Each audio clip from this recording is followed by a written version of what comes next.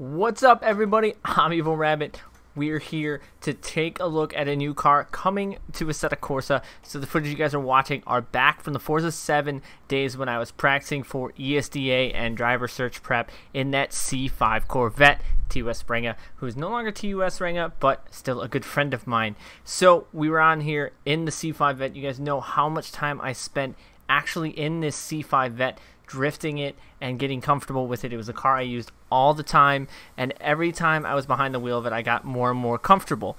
So it was a lot of fun. But when I moved to Assetto Corsa, it was unfortunately that there was never a C5 vet. But until today, I was searching through Instagram and came across Team JSI's Instagram page, which sent me to JSI Ueno's page, and there is a link for Cleese's C5 Vet in Assetto Corsa. So you know we're going to be definitely taking a look at that car today because I was so comfortable in that C5.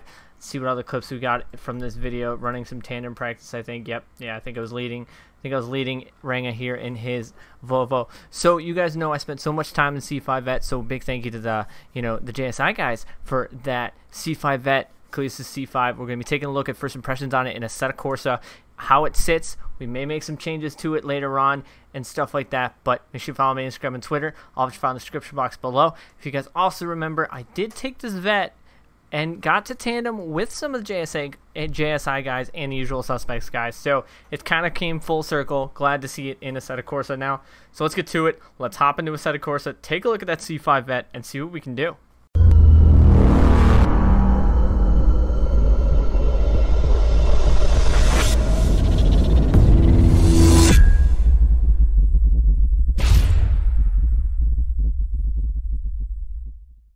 So, like I said, here is the C5 Cleetus C5 Drift Vet. So, at first look at it, it looks amazing. Definitely gonna have to add a cage and stuff like that. You got, you know, the JSI just send it on the back. So there's a few things on there that I did notice that the, you know, it has an NRG quick release, which is kind of cool. At you know, being sponsored by NRG Innovations, definitely a fun thing. So we're gonna be ripping this car today. Super excited to have it in the game. Like I said, Carl was very comfortable with in Forza 7, so hopefully it does its justice here in Assetto Corsa. So let's take a look at what we got. It looks like we're at a 5 or 4 6. It's on World of Drift tires. Street tires, I think we're going to leave it exactly how it sits and just see how this goes. Oh. Does sound pretty good. So I do have a different uh, tablet screen going on right now. I want to get back to my uh, my shift. I think this is it.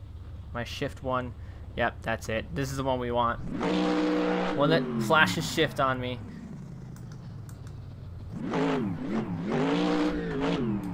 So we are here in Airport Drift Track, a track that I always bring cars to test them out. So 4.6 is a pretty tall gear set. So we may have to change our gear ratios and stuff, but we're just going to go full send, get our first impressions on it. And, you know, like I said, big thank you to the JSI guys for putting this up there so I could, uh, you know, get back to some of the roots.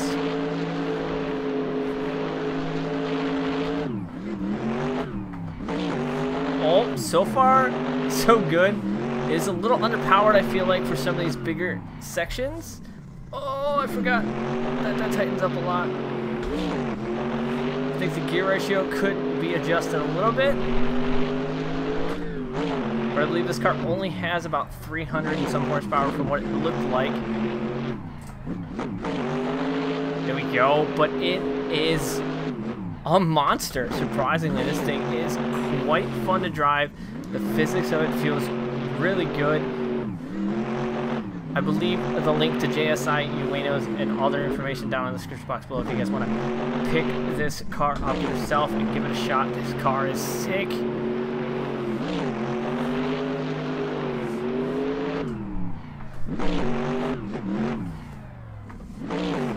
Transitions are nice and smooth, no handbrake really needed. The weight transfer, everything is pretty good on this car. Shut those lights. I just don't think the power is really there for to do the long sweep. Oh, okay, we almost rode off the new drift vet.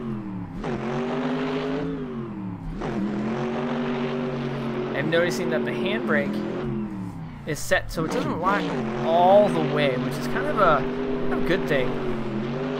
But, you know, with a car with a lot more power, you might need a little bit more snappier of a handbrake. Things that are easy... Oh, I gotta recalibrate my shifter. That should be in fourth. Boy. Oh, God. All right. Cut this one short. I do like this car. It feels so good to be back here in a C5. So let's go change up track and gear ratio maybe and see, stall that out, and see if we can rip another track that is very fun to drift. So we are going to go to Driftland Aussie because it is definitely a very cool track and a very fun track. And you guys know I spend a lot of time on Driftland Aussie. The gear ratios are really changed. So there's different gear sets. Okay.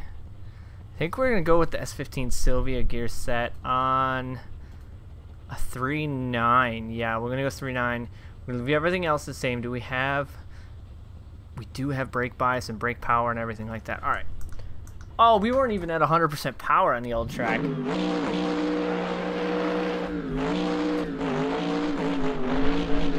I think this thing with some comp tires would be a monster. Fourth gear, send it in.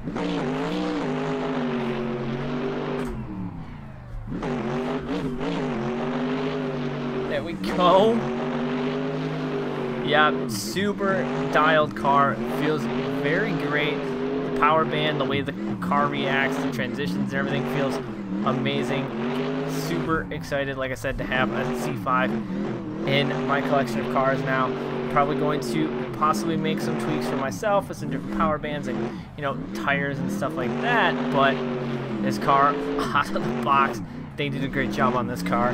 So like I said, I'll leave all the information to get it yourself down the description box below. And you know we're going to switch this up right now. We're going to uh, give in to the haters.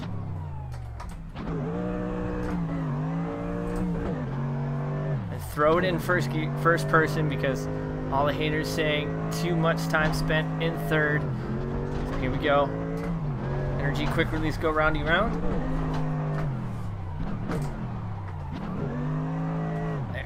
It looks awesome in first person as well. Doesn't need a cage, so maybe adding a cage to this thing is going to be something I'd want to do for a comp style car, but like I said, this is Cleetus's C5, so it is replicated off of that. Yep, I like this car a lot definitely going to need to throw some tandems with this car. I have to get my buddies and stuff to download this. Maybe even throw down with some of the JSI guys or the usual suspects guys in this car because this car rips.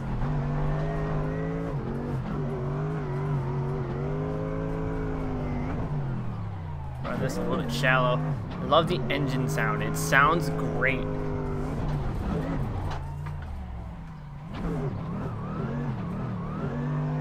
There we go.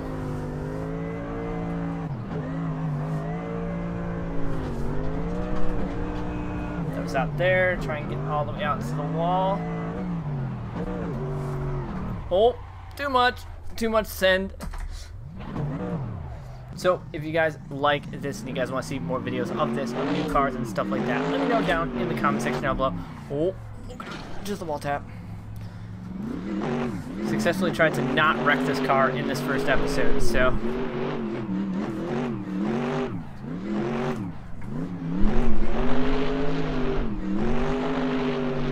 out there. Yeah, there we go. It's a smoke show, though, for sure.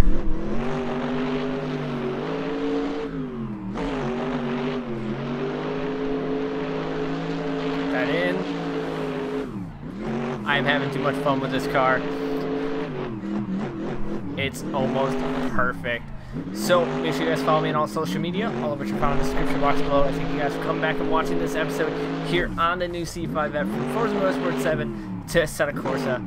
Gonna probably have to bring out that usual suspects livery that I ran on my car in Forza. So, as always, I thank you guys for coming back and watching. I appreciate all the support. If you want to help support the channel and you like what I do here on the channel, all you gotta do is tap that like button and hit subscribe. I would appreciate support. Bell notifications if you want to be part of the notification gang. So as always, I thank you guys for watching. I'm Evil Rabbit, and I'll see you guys on the track.